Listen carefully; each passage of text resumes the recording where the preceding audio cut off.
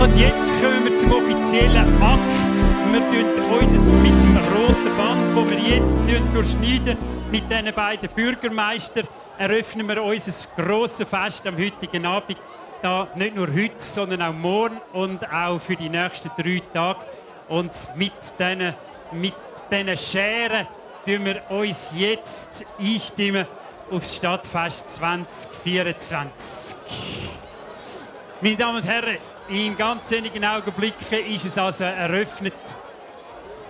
Und jetzt wollen wir wissen, was die beiden Bürgermeister für Kräfte haben.